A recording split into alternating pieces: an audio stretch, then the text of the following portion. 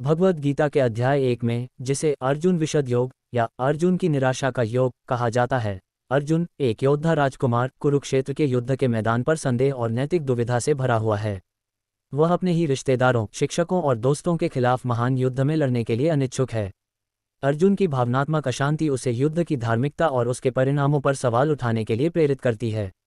वह अपने सारथी, भगवान कृष्ण से मार्गदर्शन चाहते हैं, जो आध्यात्मिक ज्ञान और शिक्षा देना शुरू करते हैं, जो पूरे गीता में जारी रहती है। यह अध्याय आगे आने वाले दार्शनिक प्रवचन के लिए मंच तैयार करता है।